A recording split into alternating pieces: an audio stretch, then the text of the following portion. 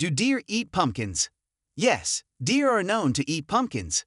Deer are herbivores and consume a variety of plant matter, including leaves, stems, fruits, and vegetables. Deer love to eat pumpkins, and this can be a consideration for gardeners or farmers in areas where deer populations are present. To deter deer from your pumpkin plants, use a multifaceted approach. Install a fence and apply deer repellents. You can also hang fragrant items like soap or plant strongly scented herbs such as garlic, chives, mint, or lavender in your garden.